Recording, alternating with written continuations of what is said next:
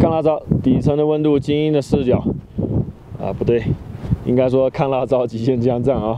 那我们看一下，现在这是在哪里啊？一看这个石碑，大家就知道我在哪里。呃，珠峰大本营，八八四四。以前读书的时候，我记得是八八四八，后来下调了。啊，经过几次测量，现在说是八八四四，也没说时间啊。这个石碑也没看到时间。然后远处啊，来我们看这边，远处就是哪里啊？世界第三级，珠穆朗玛峰，闪亮登场！当当当当，闪亮登场，闪亮登场啊！珠穆朗玛峰，我们看到它的这个峰顶，有点像一个金字形，金字塔的金字形啊。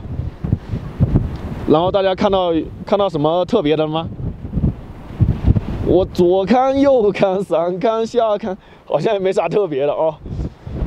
不管怎么样，别人第一高嘛，是吧？别人第一高，给他个面子，大家给他许个愿啊，给他个面子。那在这么一个关键的时刻，咱们聊个什么话题呢？呃，我要把这个麦挡住。咱们聊个什么话题呢？聊中印的话，我觉得有点煞风景，那毕竟是战争的风险。但是小问题的话又没什么意思，所以我决定聊聊房价。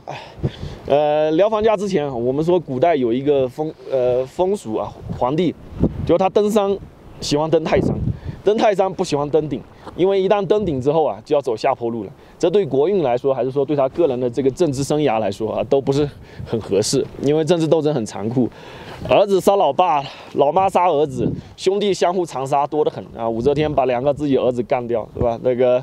呃，李唐的第几个皇帝啊？呃，李世民吧，把他兄弟杀掉，对吧？这个不是很吉利，所以一般来讲不登顶。所以我决定今天不登珠穆朗玛峰了。为什么呢？登上去了之后就走下坡路了，这个是主要原因。好，那刚才这是一个比喻，那我们用在房地产上，就是一个什么比喻呢？那座高山对于中国房地产来说，就是二零一七年的时候啊，北京、上海很多房子啊卖到十几万啊，特别高，那现在都降下来了，对不对？那全国的平均房价是一个什么水平呢？降降降降降降到什么位置？就是我现在的位置。我现在位置海拔是多少呢？五千二百米的样子。所以，呃，现在咱们中国的房价的平均水平就是到五千二。五千二，其实在，呃，青藏高原这个位置上其实是比较多的位置。五千二，我们路过好多山口都到到达五千二。像前面那么高峰那种是少，对吧？这附近整个达到八千米以上的，好像是五个还是七个？啊，大家查一下数据，应该七个，啊，八千米以上的，呃，所以我们国内也是几个大城市可以达到那么高高的高峰，一般的城市就是，然后再加上低一点，差不多就是我现在这个位置。但是房价正常来说到海平面的位置，呃，才是正常的，因为这个星球，呃，平均的海拔应该是负的，而且好像还是负的三千多米，因为这个，呃，陆地表面还是以海洋为主啊。那实际上真正的是这个星球上属于高原的地方其实不多。真正最大的高原就是青藏高原，其他的南美洲有一些，非洲好像有零星有分布，呃，其他地方就非常的少见，呃，主要的高海拔就在这些地区。啊，刚才那个石碑大家要拍照，所以我就让了一下。呃，我们继续聊啊。那现在，呃，如果房价回归的话，它应该要回到一个呃比较均衡，海拔一两千米的这个水平上，所以下滑的空间还很大。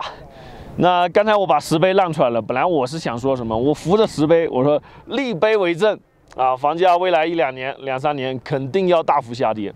我前面说了很多，以猪肉计价下跌，以黄金计价下跌，以美金计价下跌。我们理一下顺序，最早的时候啊，一七年我看空人民币，对吧？我说了，那它要以黄要以美金下跌，这个实际上在很长时间是实现了。但是我们看到人民币实际上又。又又搬回来了，在那个过程里面，我们我后面也提到了啊，它要以黄金的这个呃相对价格要出现下跌，我们看到黄金也上涨了非常多。然后在去年的时候，我又调侃我说这个要以猪肉的价相对价格要出现下跌，啊，这几个三个三个价格都出现下跌。那很多朋友说，那到底以人民币的话，你说跌好像也不是很明显，百分之二十，你天天说百分之二十，我感觉没有。啊，这个确实，我们前面说了很多方面，政府它有有操纵价格，有茶水费啊，什么东西，它削掉了这个呃珠穆朗玛峰，它把峰波峰波谷削掉了，所以你感觉跌的不明显。那现在我想说一个什么呢？我既然要扶着碑啊，这个碑在 在旁边，我既然扶碑，那我就要说个更劲爆的，那就是它必须要以人民币的价格来出现下跌。为什么呢？因为现在中美面临这种严峻的局面的时候，如果你再以那种其他的方式扭扭捏捏的下跌，根本就熬不过美国啊，根本就没有办法，这个国家的效率也没有办法真正的提升。就是你想要那么多科研人员，如果说他每天呃，因为华为它是真正可以挨得了高工资啊，但很多的基础行业，其他的你要想。万物生啊，像雨后春笋般的科技行业起来，这个房价太高，肯定是不利于科技行业的发展，同时也不利于内循环，也不利于消费，对不对？我们讲内循环的关键是什么？内循环的关键就是消费，没有消费，内循环就是一坨屎，那还不如牛屎，就是跟狗屎一样很臭。我们说过，狗屎跟人屎是最臭的，因为什么？它杂食动物，杂食动物的屎是最臭的，对吧？所以说，内循环的话，必须的什么？呃，消费要起来，所以这些的话都需要房价下跌，就是相对价格，这些的话都是以人民币计价的，对不对？那所以说人民币的这个房价必须要出现下跌，而且时间不会很长，不能太长，时间太长就没有就没有价值，没有意义，你也熬不过美国。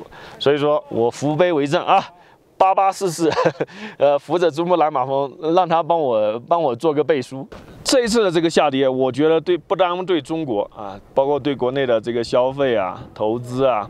啊，出口啊，这三驾马车会有一个调试啊。同时，对于国内的阶层洗牌啊，我们大家都比较关心，看我们节目比较关心的朋友比较关心的，这个也会出现一个大幅的震动。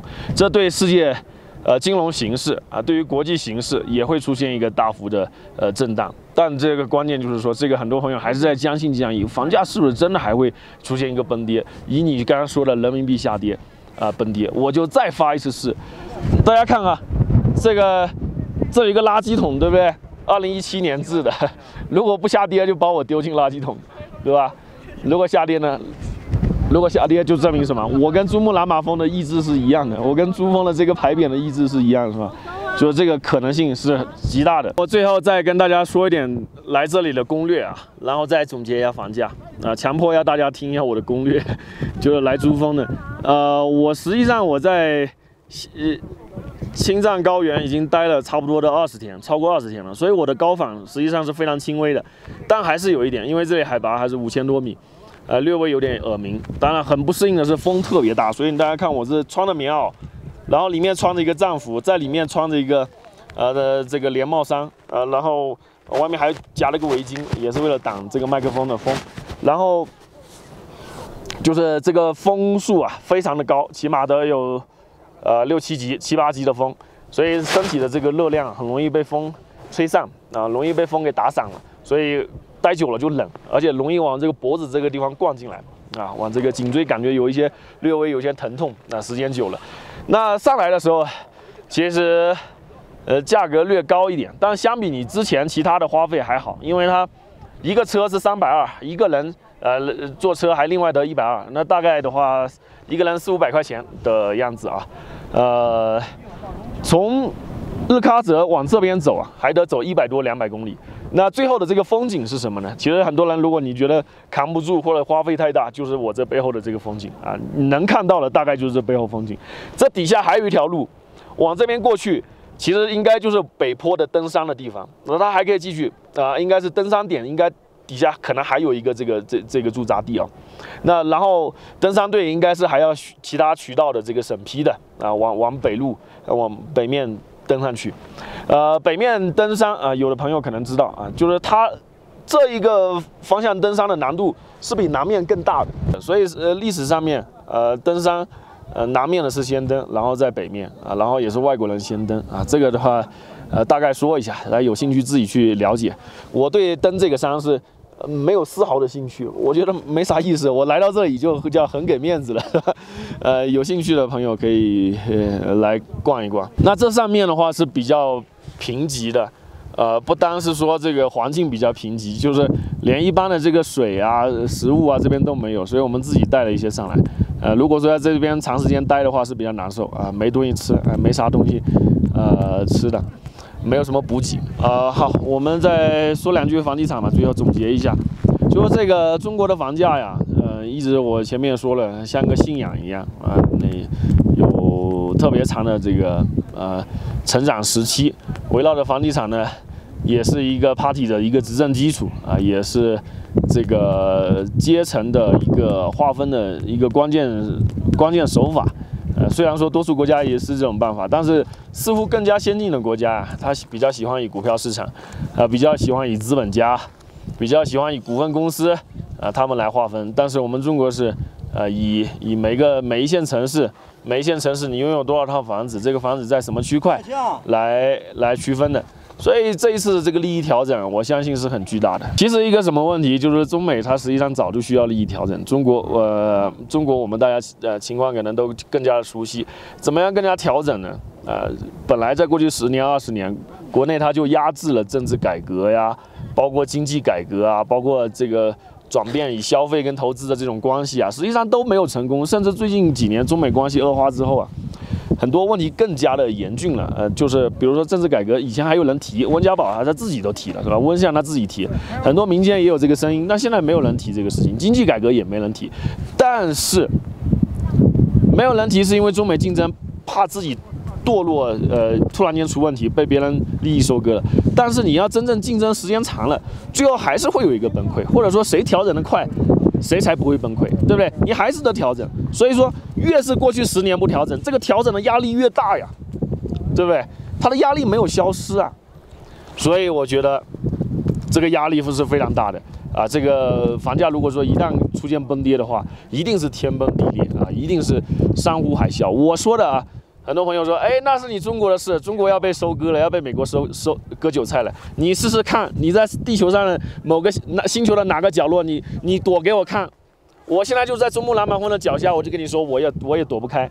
你别跟我说你在太太平洋的某个某个船上或者小岛上，你就是在天上，现在就乘坐着卫星。我告诉你，你回到地球之后，你一样受到影响，或者你还在上面就受到影响。你别觉得一切就是中国被美国被欧洲收割，这个事情就结了，没这么简单啊！一定是世界级的动荡啊！如果中国中国的房价下跌，好的，咱们这一集是不是特别有意义？OK。啊，珠穆朗玛峰我说的不对的话，珠穆朗玛峰是正确的，啊，它的这个风景是真实的。OK，我们这里就聊到这里，感谢大家收看。